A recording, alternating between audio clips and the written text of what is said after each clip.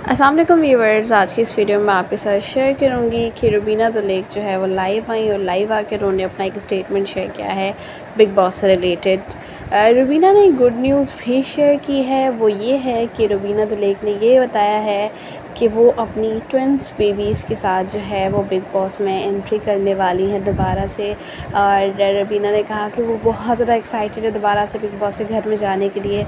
रुबीना ने ये भी कहा है कि अब बिग बॉस में वो बात नहीं है जो पहले के सीजन्स में होती थी, लेकिन उनको अच्छा लग रहा है कि उनको दोबारा से इनवाइट किया गया है। वो सिर्फ़ दो से तीन दिन के लिए जाएँगी और उनकी बेटियाँ सिर्फ़ जब वो एंटर होंगी तब के लिए होंगी। सो रुबीना ने कहा कि वो बहुत ज़्यादा एक्साइटेड हैं बिग बॉस ओटीटी में दोबारा से एंटर होने के लिए। सो रुबीना जो है, पहले विनर बन चुकी हैं और बहुत सारे लोग जो है, वो उनको दोबारा से बिग बॉस में देखना चाहते थे। फाइनली उनकी ये ख्वाहिश पूरी होने जा रही है। रुबीना दोबारा से नज़र आएँगी बिग बॉस में। आप सब कितना एक्साइटेड है कमेंट करके बताइएगा। चैनल को सब्सक्राइब करके बेल आइकन प्रेस कीजिएगा। हाफिज़।